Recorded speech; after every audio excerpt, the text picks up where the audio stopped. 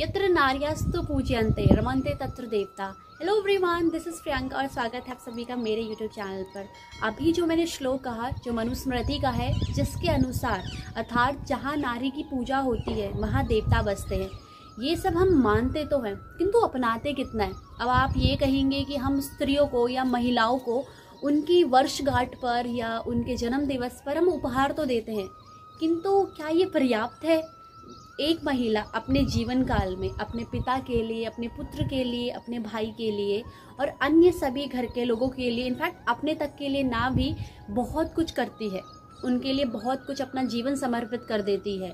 स्त्री को स्वर्ण आभूषण या महँगे वस्त्र नहीं चाहिए। उनको चाहिए तो आपका समय, आपका सम्मान, जो सबके सामने भी हो और एकांत में भी हो। और आपके वो प्रयास जो उन्हें जता पाए कि उनकी भी कोई वैल्यू आपकी लाइफ में है।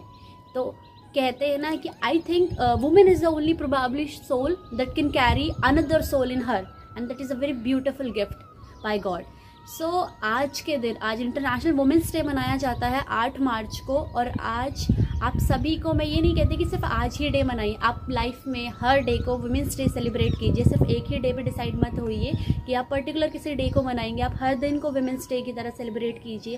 वुमेंस के रिस्पेक्ट कीजिए। उनको वो वैल्यू दीजिए जो वो डिज़र्विंग होते हैं।